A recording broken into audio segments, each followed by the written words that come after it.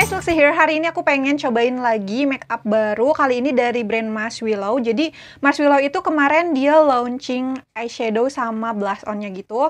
Terus aku penasaran karena aku lihat-lihat di IG, di TikTok katanya ini tuh bagus.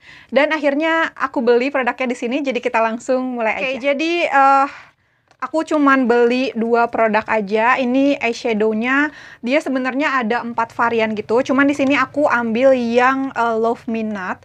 Uh, ini tuh menurut aku salah satu eyeshadow yang bakalan kepake untuk hari-hari, makanya aku ambil yang ini. Uh, nanti aku bakalan liatin juga pilihan warna eyeshadownya. Terus untuk blushnya, aku ambilnya yang ini. Ini tuh yang nomor 4, yang menurut aku warnanya lebih, apa ya, karena menurut aku ini warnanya yang aman gitu, dan katanya sih ini yang paling pigmented. Uh, kita ngomongin dulu dari segi packagingnya. Seperti biasa, untuk packagingnya sendiri dia ada boxnya gitu. Terus untuk yang eyeshadownya ini tuh pakai kayak uh, plastik gitu case-nya. Cuman menurut aku ini plastiknya ngingetin aku sama eyeshadownya Madame G. Tuh warnanya. Tapi tenang aja dia cukup kokoh gitu. Kadang-kadang juga jadi susah dibuka. Dan ini untuk pilihan warnanya ini ada 12 warna. Ini aku udah cobain dulu sebelumnya. Ini untuk palet yang uh, Love Me Not, seperti yang aku bilang, dia itu warnanya yang bakalan uh, gampang gitu kepake dan sering dipakai. Aku biasanya cari yang uh, warna-warna brown sama ada pinknya gitu, jadi biar nggak terlalu bosan. Nah untuk blushnya, ini packagingnya dia ada boxnya juga. Ini ngingetin aku sama packaging dari cushionnya, walaupun aku belum coba. Terus juga kayak concealernya warnanya kayak gini, warna ungu gitu. Dan untuk uh, isi di dalamnya dia pakai uh, plastik juga sebenarnya. Cuman ini kayak gemes banget gitu. Nah, ini dia di dalamnya kayak gini, warnanya yang nomor 4. Ini tuh perpaduan antara pink sama warna peach. Dan menurut aku ini tuh kayak bake blush on gitu. Dan warnanya sih menurut aku ini nggak terlalu yang langsung pigmented gitu ya. Tuh. Oke, sebelum ke try on-nya, aku bakalan liatin dulu swatch uh, dari eyeshadow-nya.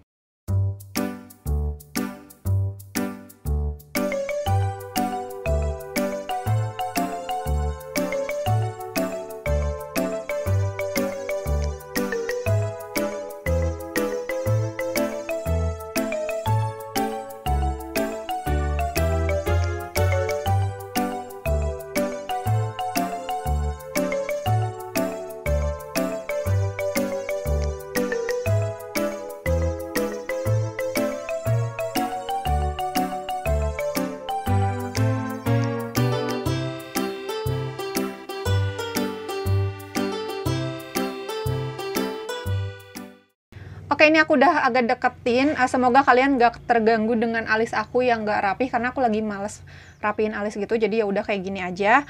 Uh, yang pertama kayaknya aku bakalan bikin yang natural aja. Aku mau ambil yang warna coklat ini. Langsung aja. Wow, ternyata dia sekali ngambil langsung uh, pigmented gitu ya. Tuh. Kayak langsung bisa dua mata gini.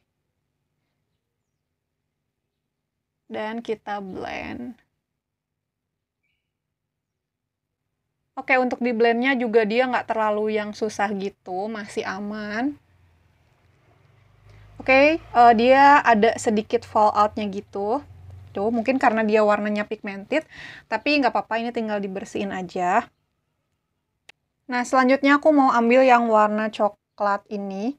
Ini yang paling gelap coklatnya kayaknya tuh aku mau taruh dikit aja di ujung oke okay.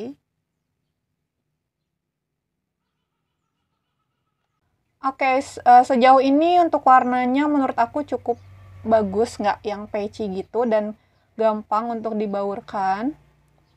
Tuh. Tapi kalau kalian yang masih pemula, hati-hati aja ngambil warna-warna yang agak uh, gelapnya karena dia langsung kayak pigmented gitu. Jadi lebih baik sedikit-sedikit aja. Nah, selanjutnya aku mau ambil warna ini. Ini kalau dilihat uh, langsung tuh kayak agak peach gitu. Untuk ngerapiin bagian atasnya biar membaur. Biar nggak terlalu kelihatan ngeblok warna coklat banget. Oke, aku mau cobain yang warna shimmernya. Ini aku bakalan cobain dulu pakai brush, apakah dia bisa. Oke, ternyata dia pakai brush pun bisa ya. Ini aku langsung taruh aja. Wow.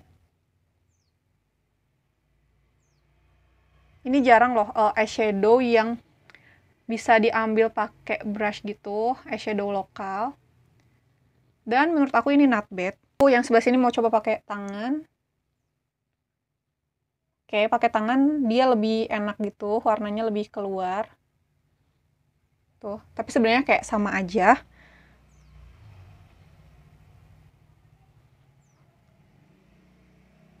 Oke, aku juga mau tambahin di bagian bawah mata di sini warna shimmernya.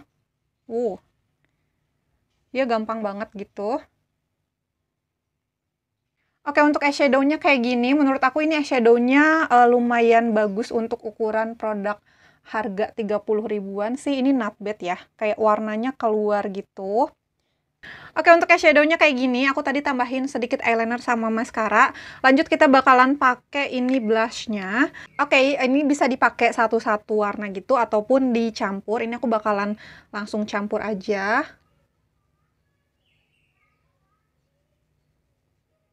Oke, ini menurut aku adalah tipe blush yang nggak langsung pigmented gitu, jadi bisa banget di build up dan ini cocok buat kalian yang masih pemula.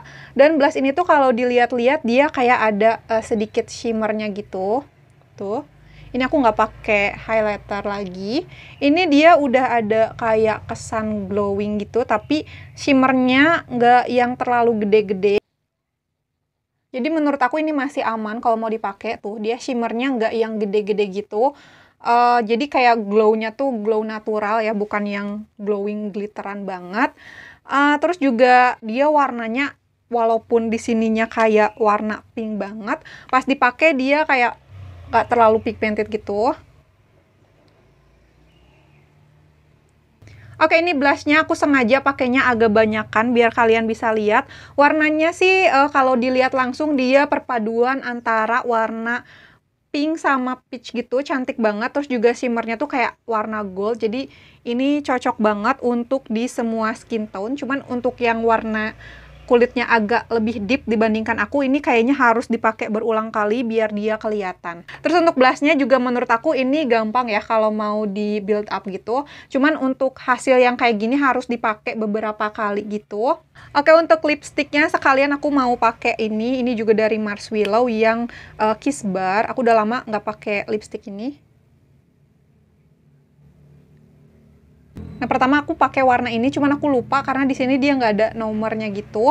Selanjutnya aku mau pakai yang agak warna orange.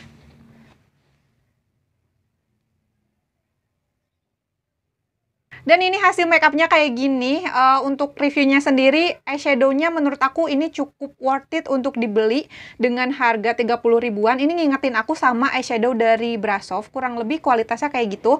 Cuman menurut aku ini Mars Willow dia lebih creamy sedikit dibandingkan uh, Brasov. Terus juga untuk falloutnya dia nggak yang terlalu banyak gitu. Dan untuk blushnya uh, ini adalah tipikal blush yang nggak terlalu pigmented. Jadi cocok banget kalau kalian suka makeup natural. Terus juga dia harganya murah banget, cuman 20 ribuan aja. Kayaknya aku juga tertarik buat cobain warna blushnya yang lain. Nah jadi kesimpulannya untuk produk terbaru dari Mars Willow ini apakah dia worth it untuk dicoba? Menurut aku worth it karena dia untuk harga harga segitu ini udah lumayan oke okay ya. Apalagi buat kalian yang lagi cari make up make up murah, terus juga untuk eyeshadow-nya dia banyak banget pilihannya, disesuaikan aja sama uh, kalian maunya yang warna apa. Oke, kayaknya itu aja review singkat aku tentang produk terbaru dari Marshmallow ini. Makasih yang udah nonton, makasih yang udah subscribe. Sampai jumpa di video aku selanjutnya.